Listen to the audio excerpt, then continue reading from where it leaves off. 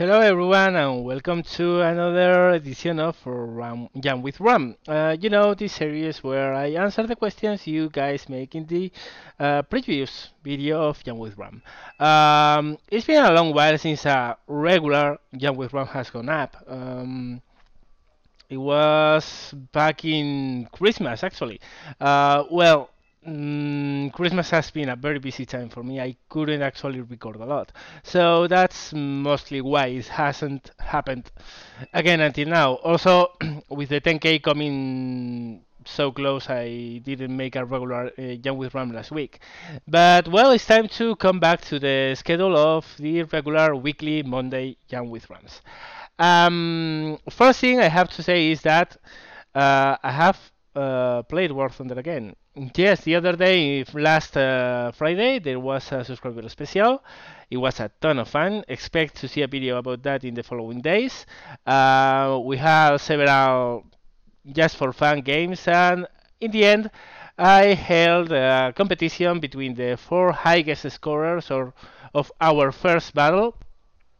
So they could fight each other, and the winner of the playoffs, so to speak, would fight me. Actually, in the end, I fought two of them, but you will see why when the video goes up. And actually, the winner of the competition, the guy who won um, uh, the right to fight versus me, actually totally kicked my ass.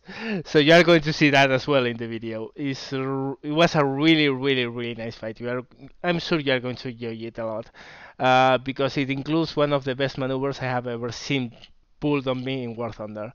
Um, well, uh, remember that probably not this week because it's going to be a little bit tough, but probably for next week uh, I will hold another event um, that you will be able to join and we will have some fun together. Um, really is worth it. We had a lot of fun. So yeah, that's it for uh, what's um, mostly the intro and speaking just in general about what's happened last week. Uh, nothing new in any other front. Uh, still, I'm not in the um, ground forces um, uh, beta, and I don't hold my breath. I'm I require an invite to get in there, and I know I'm not going to get invited, so whatever. Um, as for the rest, well, life goes on, and videos are being uploaded. so yeah, let's go into the questions. First question is, can you recommend anything similar to pre 1.37 War Thunder? Uh, sadly, no. Um, that's one of the things that really saddens me the most about War Thunder uh, it was so unique. It was so amazing in the sense that it mixed very well um, the tastes of those guys who just want something casual and they can fly arcade, and uh, who want a little bit more um, a more realistic approach, and then you would go to historical battles.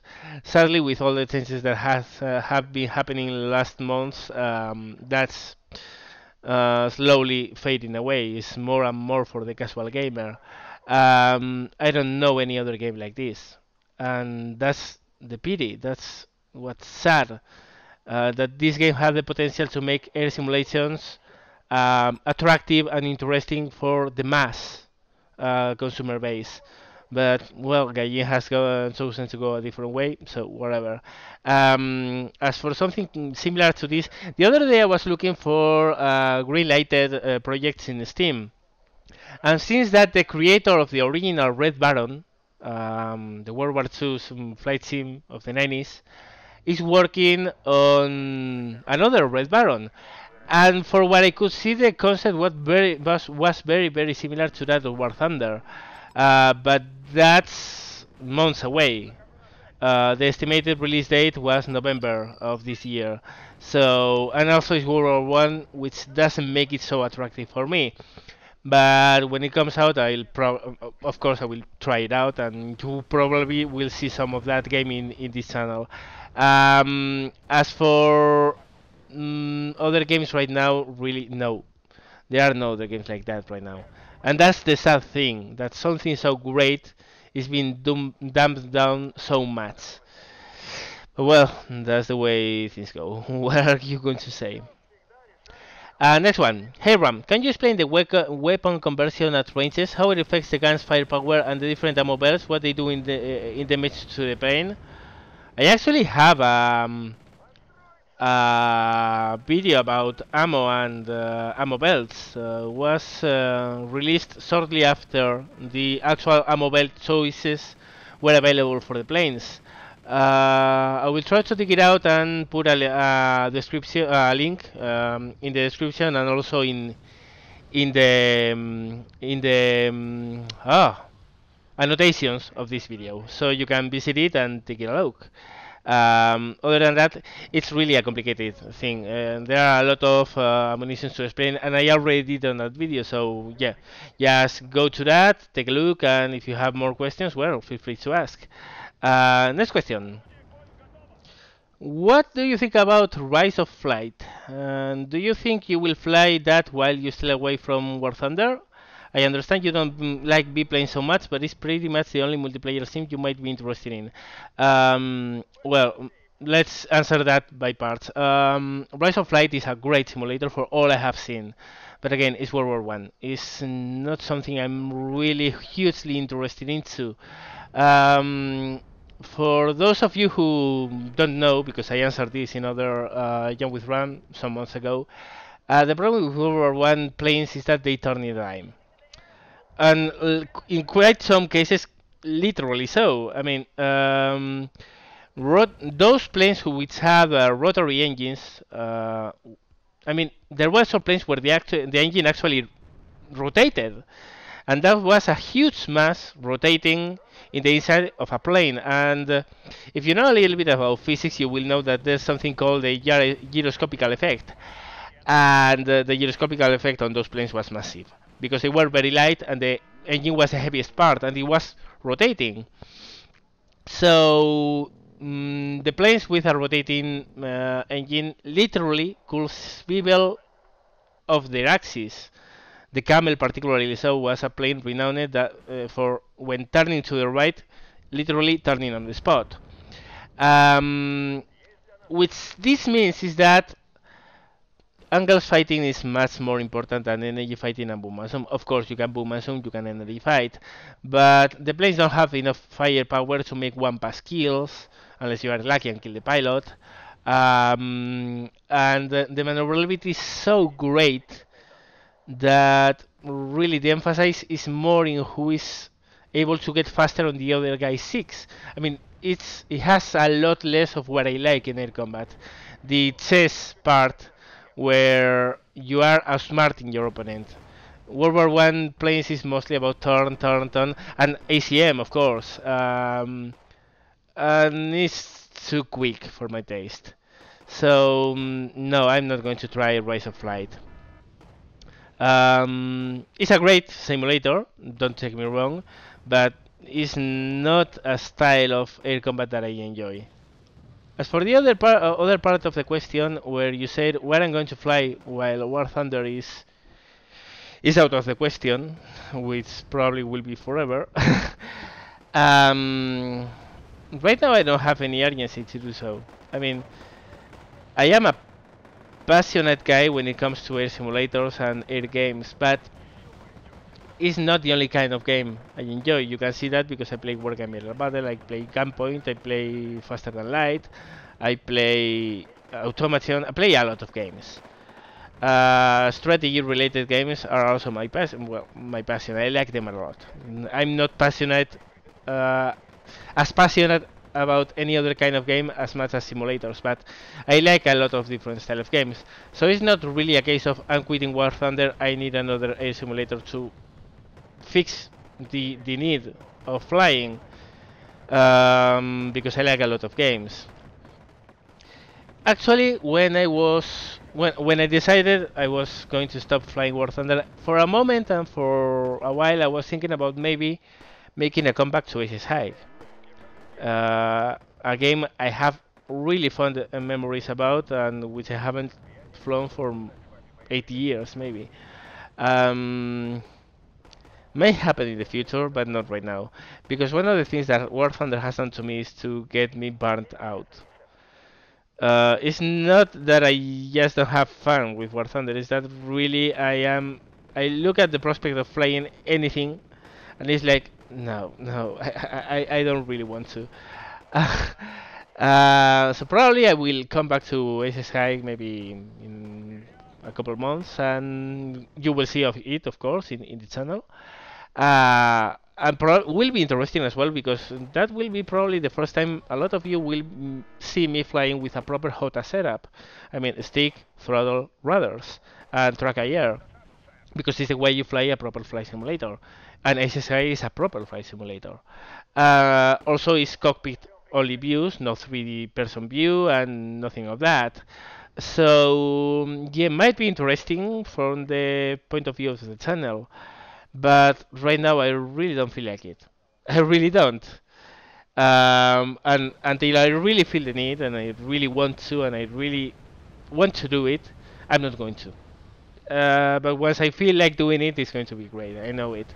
Uh, so yeah, right now I'm not flying anything. Basically, the the closest I have come to an air combat game, uh, exception made of the um, super event uh, last uh, Friday uh, is Wargame AirLand Battle with planes, of course, but that's a strategy game. You don't fly them, so yeah.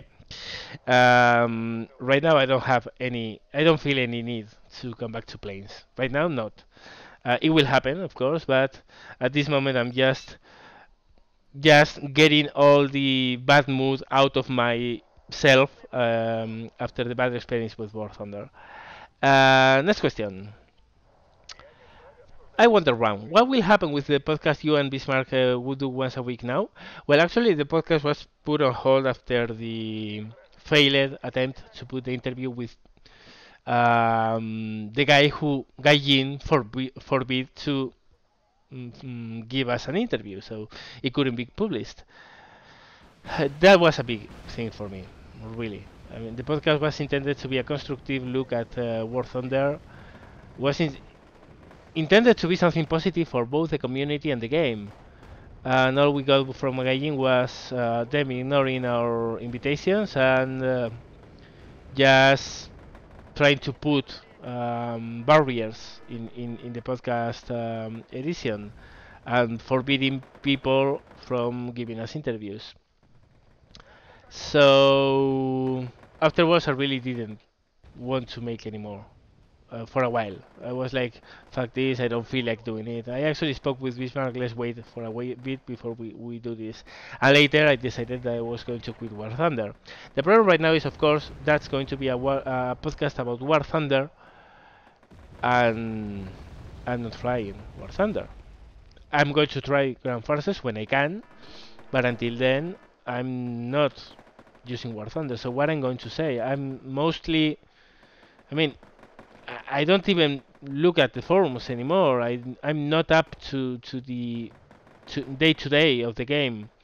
What I'm going to say in a podcast about War Thunder if I don't play War Thunder and I, I'm not up to date to what's happening in the game um, doesn't make a lot of sense. Doesn't mean that it's not going to come back. It just means that right now I don't see a sense of me being being part of a podcast of a game I don't play and I don't really know about anything about. So I don't know. I guess Viz and I should sit down one day and speak about it and decide what we are going to do. Maybe do a general podcast instead of War Thunder only. I don't know. But for now, um, nothing is decided. So it's in the air. We don't know. Next question. So, Ram, I hear you are done with War Thunder again. Haha, you'll be back. Eh, no, I won't. That's the easy answer. Um, one of the things that you must understand, guys, is that uh, I'm not 12 years old. Actually, I'm three times that age. When I say I'm stopping something, I'm stopping something. I'm not the rage quitting guy. At least not when I put up a video saying I'm stopping doing something or saying in public that I'm not doing something anymore. Because if I do so, it's because I'm sure I'm going to do so. I'm on record in Facebook saying that I was close to the point that I would quit War Thunder. and I actually told Bismarck once uh, in a flight we had together when bullshit happened, Broken Fighters, of course, that that was it, that, that I have had it with the game and that War Thunder was history. But that was a prepaid outburst in the rage of the moment. But afterwards, I decided that, of course, I was not moving away from the game at that moment. But if I put something up in a video saying, guys, I'm stopping playing this, it's because I am stopping playing it. I mean, it's not like, oh, I'm rating hard, I'm quitting this game to then two months later come back. It's not that kind of, I'm quitting. No, no. Uh, it's the kind of, this game is so bored that I don't want to play it anymore. At all. At all. The only way that I come back to War Thunder, the air part, uh, because ground forces I'm going to try, as I said, uh, is with Gaijin just turning 180 degrees in the direction they are developing the game. And we all know that's not happening. So, make your own conclusions. No, I'm not coming back to War Thunder. Sorry, but no. Next question. So, is any other video of automation coming on the way? I don't know if you saw the new updates. Uh, perhaps we will get uh, an uh, Elite Dangerous beta soon too. Uh, yes, I have Automation. Yes, I play it. But the problem with Automation is I don't know why. There are two games that I would love to make content for this for this channel, and really I don't know why or, or how and, and, and why it's happening this way, but I can't. One of them is Auto Automation. Um, the game simply runs so slow in my computer, and I can't figure out why. Because if it can run War Thunder, if it can run Wargame AirLand Battle with pretty good graphics as well, why can't it run properly in Automation? I don't get it, but really I get horrible, slow uh, answers to to the clicks and stuff. It's playable, it's playable, and of course I play it but the problem with that is that when I switch the recorder on, it gets twice as slow. And first, it makes it for an unbearable experience when I'm trying to play the game while recording. And second, it makes for very crap, crappy uh, video quality because you will see me trying to click something three times and nothing happen, uh, happening until it happens. I don't know if it's because it's not properly optimized, which probably is the case, of course. It's a game in very early development. Um, but I would, I could do some exhibition videos, very short videos, maybe five minutes, to show some cars I have designed it with the engines I have put on them. Um, but the problem is that, other than that, I can't really put the building process in because really it's unbearable. I tried and I uh, I simply gave up midway because simply it, it, it, was crap. It was making a crap of a video. It was really really really really bad. Um, so what if someday that game runs properly? I don't know why it's running so slow, but it's it's doing so. Uh, I will do more videos about that. In the meantime, I can't. Um, the other game I would love to make content about is a game called Starsector, which is a Java-based game um, on the space, which is awesome, and with mods is even more awesome. The problem with this game is that I don't know why I can run it fine at maybe 80 frames per second, but the moment I try to capture, and I tried with Fraps and with Dxtory, with both happened the same. Um, frames per second go, go, to hell and I start getting 9 frames per second. And of course it's unplayable that way and it's impossible to make a proper video about it. So I just had to give, give up on the idea of making a let's play of that game which is a game I'm enjoying a lot yeah yeah that's sad but it's the way it goes I don't know what's happening I looked that uh, up for possible reasons and I found absolutely none so I don't know. I don't know.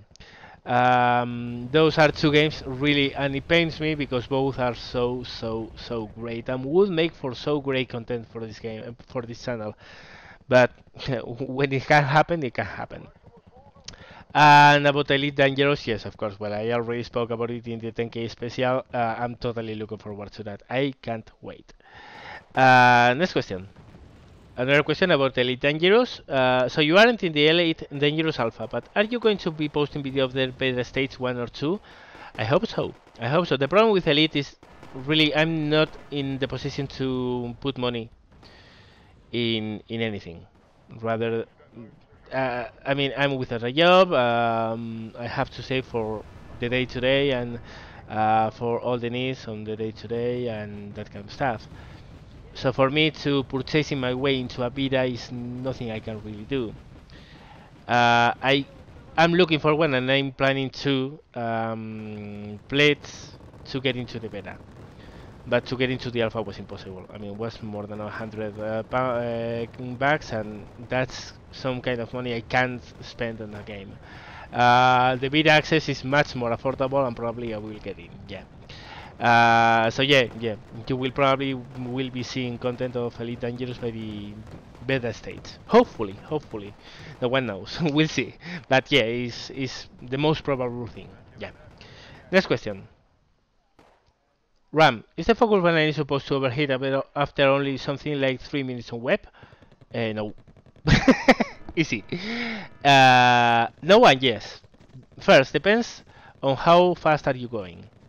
That's an air-cooled engine, and the slower you go, the worse the cooling is going to be, of course. Second, depends on the temperature of the air you are moving through. Uh, the cooler, the most cooling effect you will have on the engine. And finally, you will uh, have to face the limits of the engine itself. Um, the 3 minutes with WEP comes with the, from the manual.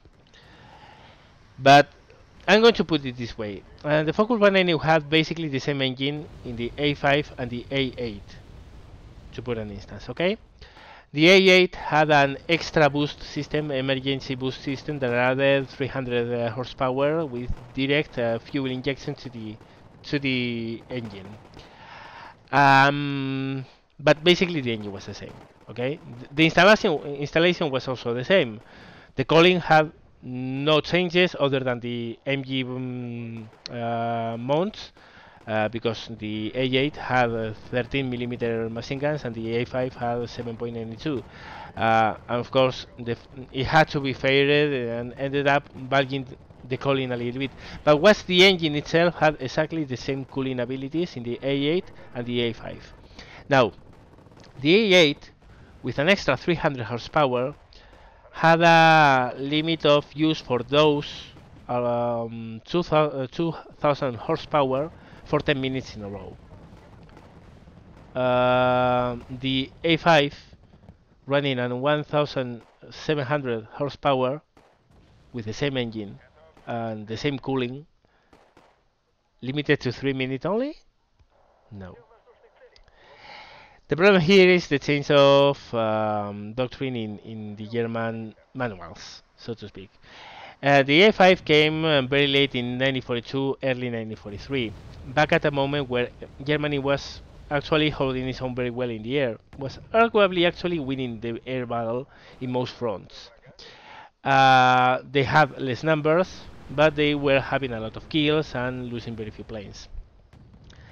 Also, in that stage of the war, Germany wasn't producing a lot of planes.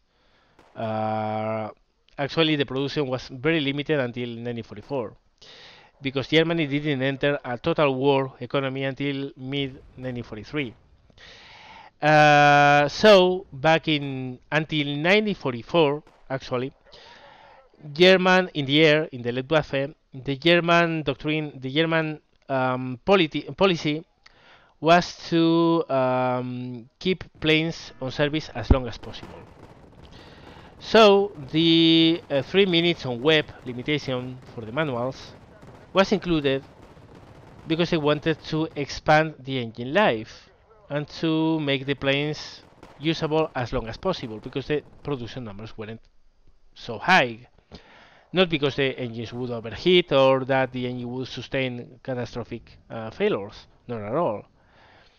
Um, I mean, in 1942, actually, uh, most of the Focke-Wulf 190s flew with uh, the rated engines with engines that were intentionally below the top power because without the top power they were simply good enough to beat anything they would find and um, it would prolongate and elongate the engine life.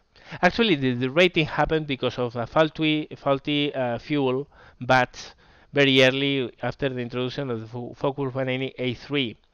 But afterwards, and after the fuel batch problem was solved, the planes still kept on being um, uh, derated until the Spitfire 9 came around.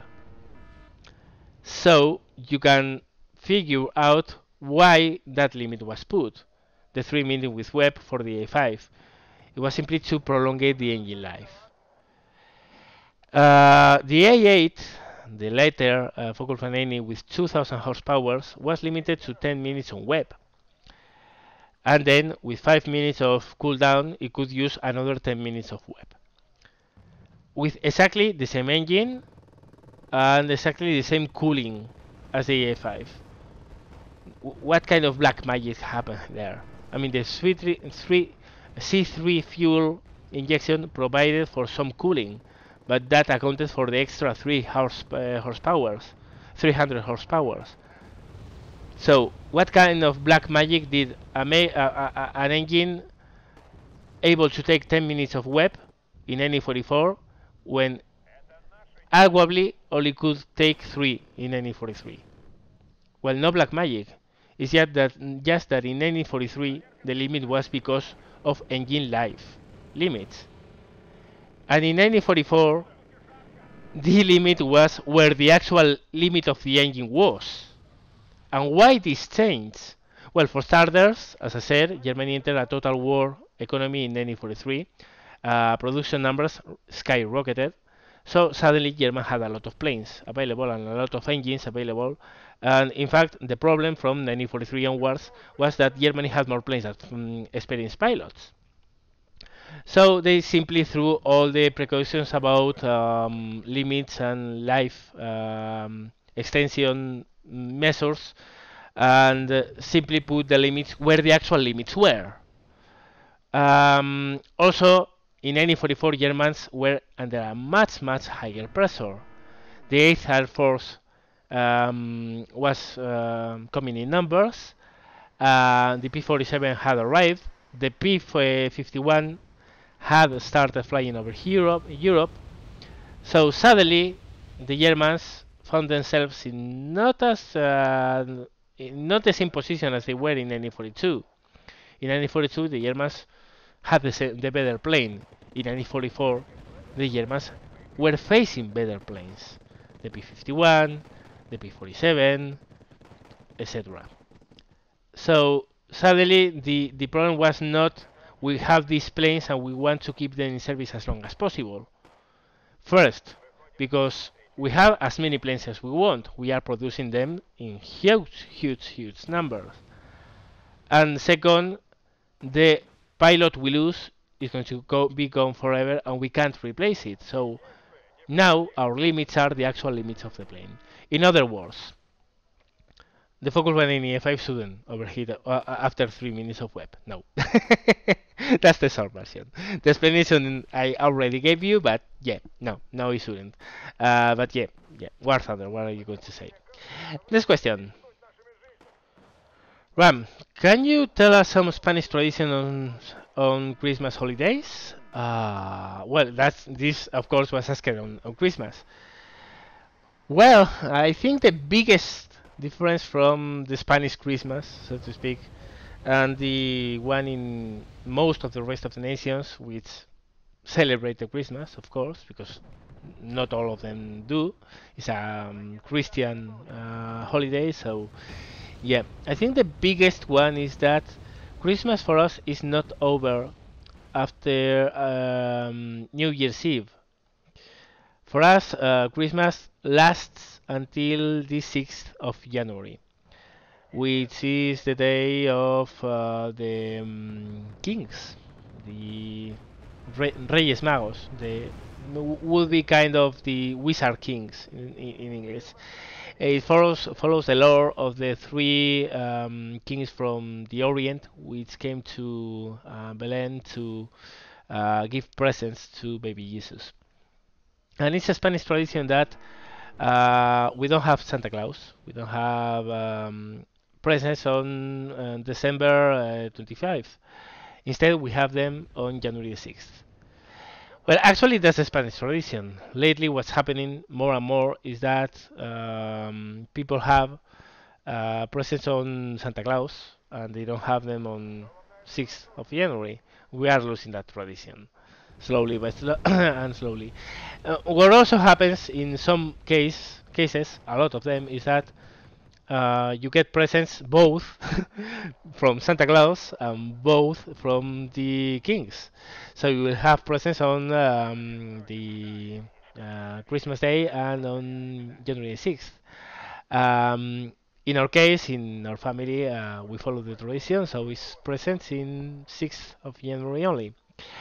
Um, that's I think that's the biggest change because for for us Christmas is all the way until the 6th of January, while in most of the rest of the nations, once New Year's Eve happens, it's over. Um, as for traditions, I don't know. We have traditions in our family, but I don't know if they are family traditions more than Christmas traditions for Spain.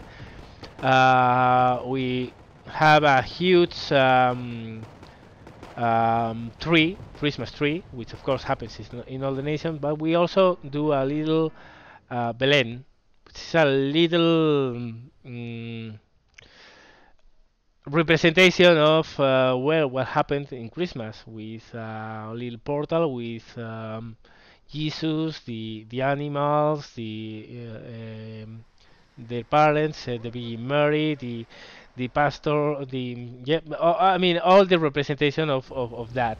And in my case, it's pretty huge. I mean, my mother is loves to do it, and he makes huge belenes. I mean, like this this um, this particular Christmas, uh, it took all the whole of our, our, our house in in Bilbao. Uh, in that, in our house in Bilbao, we have two mm, doors. One is the proper hall, and the other goes directly into the kitchen. And from the kitchen, you can enter the house. Um, well, all the hall was taken by that. So to enter the house, you had to go through the kitchen. Um, it's mass- It was massive and beautiful, beautiful, really, really beautiful. Uh, she puts a lot of effort on that, and of course, uh, when my nephews come home, they love it and it's, it's really a, a fantastic tradition. Um, and I think it's one that is slowly but slowly getting lost. I mean, I don't see that kind of belenes being put up in any other house or family. But it's beautiful, beautiful. I wish I could. Ha- I, I have taken a couple of pics so you guys could see it. Uh, for next year, I will. I promise. Um, but yeah, uh, I, I don't know. We have some particular, particularly in the Basque Country. Actually, now I think of it, we do have Santa Claus, uh, but a regional version of Santa Claus, which uh, Santa Claus, which is called the Olentzero, um, which comes also in the Christmas Day. Uh, I mean, there are very special traditions all around Spain. In in different places, there are different traditions. So it's not like as we have a national tradition other than the 6th of January, which is pretty much all, in, in all of, of, Spain. So, yeah, there's more, but I, I, I, don't want to speak maybe 15 minutes about that. There are more questions to answer, but yeah, th those are some of them. Um, next question. Ram, do you happen to know of any reported cases of bomber accidentally dropping bombs on flyer aircraft? Oh yes, of course. Uh, actually, there are a series of um, pictures about a B-17 dropping bombs over other B-17. Uh, the other B-17 uh, got the one of their horizontal stabilizers um, ripped away, and it actually fell off the sky. Uh, it was actually because the I think the reason why it happened is because the lower B-17 was out of place in the formation and when that happened of course bombs could drop uh, on your plane. So yes it happened. And um, if you uh, i'm not going to put a link about that because uh, i don't know if the image images will be copyrighted.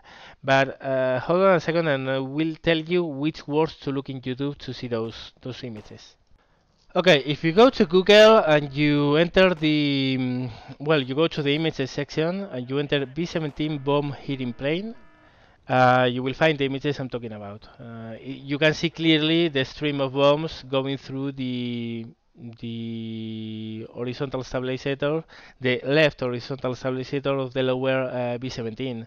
Um, yeah, it happened, and it actually happened quite sometimes. Um, running out of formation in American bomber formations was really, really, really dangerous. Not only because you would get uh, less cover from the defensive firepower, but because you could be under other B-17 when the moment came to drop the bombs. Um, so yeah. Also, also, believe it or not, Germans bombed uh, bomber formations. They had a 250 kilogram bombs bomb with a um, timed fuse, so they would go over the bomber formation, drop the bomb, and hopefully would explode in the middle of the formation and and at least uh, shake off the the pilots and make them break formation for a while, and so making them easier targets for the normal fighters they weren't really successful, um, and actually they weren't used a lot after 1943. But actually, it happened. They dropped bombs on on um, bomber formations. Yes, they did. As for any of them actually hitting, I don't know. I know they were very, very unreliable and they didn't have any success at all in the sense of, I mean, they stopped doing that because it simply was not having a huge effect. Um, so I, I, don't know how su much success uh, in killing planes it, it, had, or how many planes did the Germans kill? Excuse me, with bombs. But yeah, it happened. It happened. Next question. And this question was not the last, but I left it uh, for the end because it's probably the toughest one someone has asked me. Not in the sense that I don't have an answer to, but in the sense that I don't know if I want to answer it. Um, here's an off-topic but tough question. For you that I would love to hear you speak about one. Most people, including me, don't know Spanish history, especially recent one. Um, actually, most of us have no clue about it, and certainly the most important figure of this recent Spanish history must have been Franco. A highly controversial figure, people actually virtually know nothing about him, and even for those who know about him, the debate is far from being over. Therefore, I would be highly interested to have the point of view of a Spaniard and a history addict Spaniard at it about this highly controversial figure that marked Spain's 20th century. Also, of course, because you didn't directly live through that era, maybe if you could tell the different opinions of your elders, basically grandparents, about him, uh, uh, hearing about that, it would be great. Cheers. A topic I would love to speak about for minutes, hours, days. But here we have a fundamental problem, and it's that I don't want to speak about politics, even less Spanish politics. Reason for that is that if you think your whatever nation you live in politics are crap, you don't know Spain.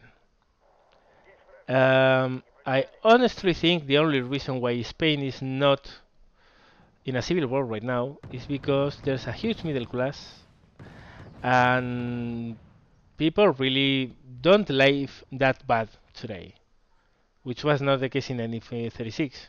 In 1936, what happened was that there were very few people having almost all the resources and all the riches, richness of the country, a very small, very, very small middle class, and a huge low class. And that was basically why, what happened in the end. Today, that the only reason why I'm sure that nothing like that is happening is because people are just living way too good to get to an armory, get some rifles, and kill each other because the extremism is so hard.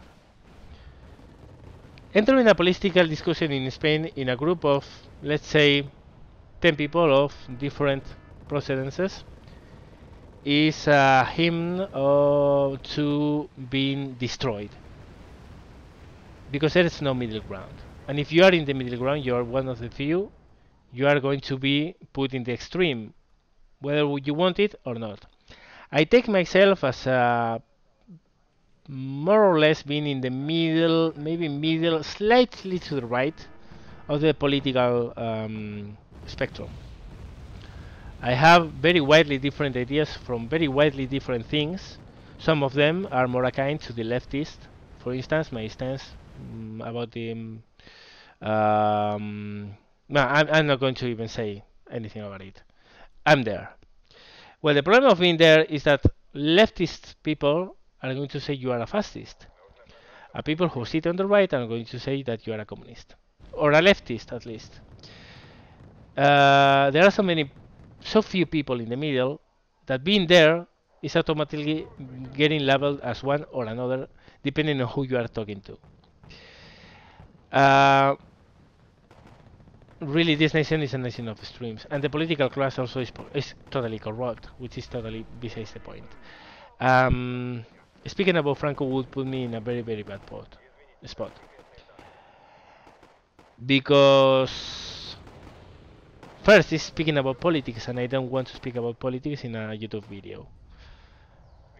I I don't have a problem speaking this in private, but not in public.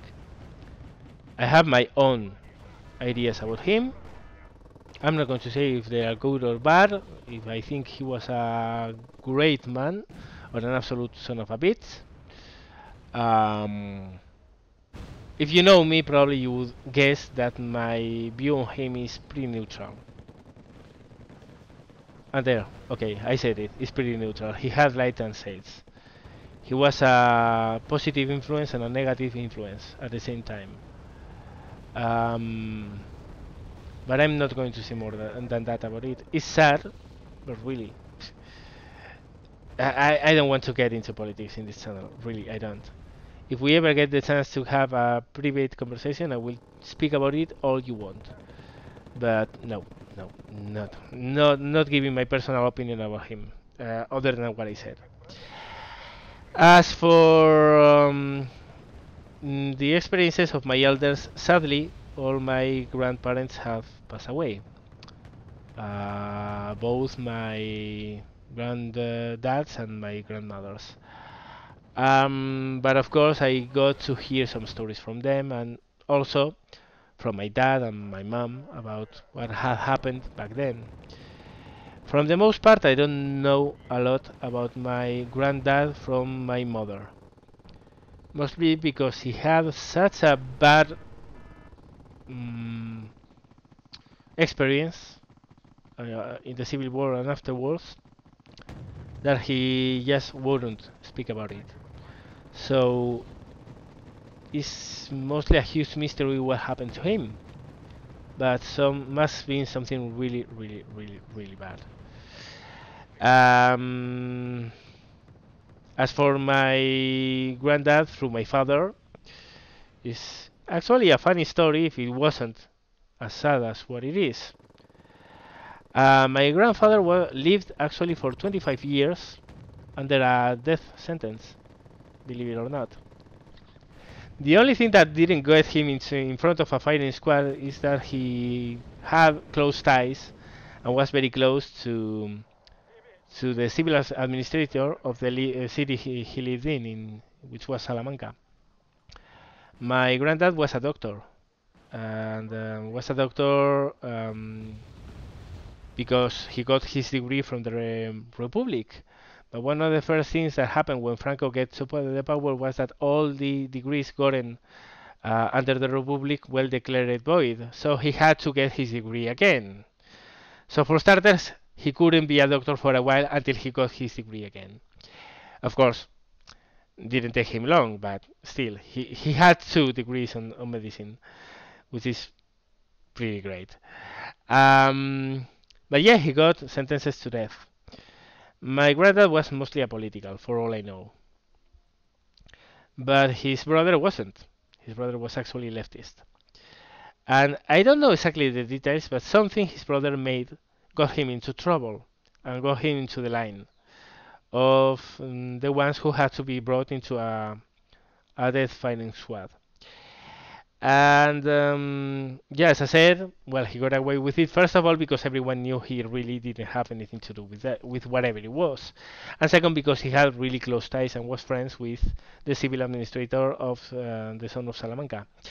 So instead, what he got was basically uh, being um, sent out. He couldn't put a step on a big city because then he would be um, arrested and probably I'm not going to say the death sentence would be carried on, but he would be in a serious mess if that happened. So basically, he got away with um, moving out of the city. And yes, if you hear a dog, that's my dog. Um, he got away with moving out of the city and going to go some God forbidden uh, towns uh, in the middle of nowhere. So instead of having a decent life uh, as a doctor, he had to uh, live in a forbidden mm, town down in the middle of nowhere, very close to the Portuguese um, uh, frontier.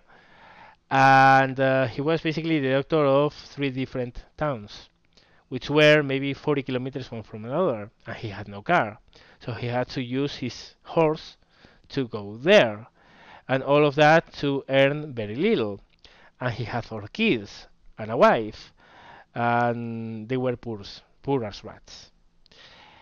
Um, it was a very tough time for for my dad, and uh, yeah, well, it really was not that great. And I said it would be funny if it wasn't if it wasn't sad because of uh, what happened in uh, I think it was 1969 uh, because of the 13 year or was 1966 I don't know. I, I know it was a, a significant year where they were commemorating the 30 years after the success of the uprising, the the national uprising, the alzamiento nacional, the, the way that um, the rebellion was called uh, by Franco and and the well the Frankists, and uh, to commemorate that, they issued a general amnesty for all those um, who had a penalty on their head. Maybe they were in prison, maybe not, but still they had um, they were pursued. Um, they would be amnestied if they would submit a reading uh, to I don't know exactly what, but they had to send it to some organization or some I don't know. The thing is, they had to send a letter written and signed by their own hand, where they would say that and they would uh, wholeheartedly uh, agree and uh, attach themselves to the national movement and that they um, share the ideals of the glorious uprising of 1936 and uh, long life to La Franco, all that stuff. You know the deal. So basically, if you write it, if you were to write that letter, sign it, and send it, you would get an amnesty. And of course, when my father and my uh, uncles uh, got knew of that, they immediately told my grandfather, Father, father, now you have the chance to come back to Salamanca. You only have to do this. And my father, or grandfather, basically told you, fuck you all. I'm not reading this piece of bullshit full of lies. Franco can go to hell for all I care and fuck the national movement and fuck them all. Well, it was kind of complicated. Let's say that my grandfather had a character most of my family does, uh, including me. Um, yeah, basically he, he told them to solve the idea up there, yeah, there. Uh, then he was not ever going to read uh, something like that uh, because no, of course, I mean it was understandable. For 30 years, his life have been destroyed, and um, without him having anything to do with that because he was in trouble not because of him in the first instance, but because of his brother. Um, he was a political but hated Franco for a reason, of course. Anyway, after long, long, long conversations and a pretty lengthy process of convincing him. Finally, he had, he, he admitted to. He said, "Okay, okay," because of course he couldn't get away from the fact that if he did that and he get the amnesty, he could go back to the city and earn a decent living as a doctor in the city, opening a consulting in his own house, which is what he did afterwards. Um, but if I recall correctly, I don't know exactly because I was told this when I was a kid. Um, but I think the letter was actually written by my dad and my uncles. He refused to put that on paper. He just got the paper, didn't even read it, put the sign, and told my uh, dad and uncles, okay, now you can send it. But didn't even read it. He had so much hatred for Franco and the national movement and all that stuff. Um, there are a lot of stories about that, of course. I mean, all families do have stories. Um, personally, uh, I would say that my family didn't have easy. Uh, actually, no family had easy in the Civil War. And it's sad that even nowadays people don't learn from the past in this country. But whatever, this is all I'm going to say about it. Um, as for politics, I'm not going to enter into that anymore. Uh, reason being that, first of all, this is a gaming channel, not a politics channel. And second of all, because really, at least in this country, uh, you can speak about politics without getting in a, into a huge, huge, huge argument. And uh, I'm not going to say that it's going to be a violent argument, but it's going to be an argument. And in some cases, and with some people, it can be an argument with violence included. Not in the physical sense, but with serious, serious, serious word being, words being uttered. Um, I've given up speaking in politics in, in public. Really, the Spanish average guy, I can tell you, is the most friendly guy you will ever find. He's funny, he's charming, for the most part. Um, it's really a laugh to go out with, to, to get some drinks with. Um, he's generous, is is all of that. You can speak about mostly anything with him, but don't don't ever touch politics. Ever. Ever. Word of advice, ever. If you meet a Spaniard, don't ask him about politics. don't. Because uh, there's a high chance he's one of the people who is in the extremes. Uh, because very few of us are in the middle. At least is how I see it. Anyway, that's going to be it for this week, guys. Um, Thank you again for being there. Remember to uh, post uh, the questions you want to see answered, to um, upvote those questions you want to see answered the most. And uh, well, as always, thank you very much for watching and see you later.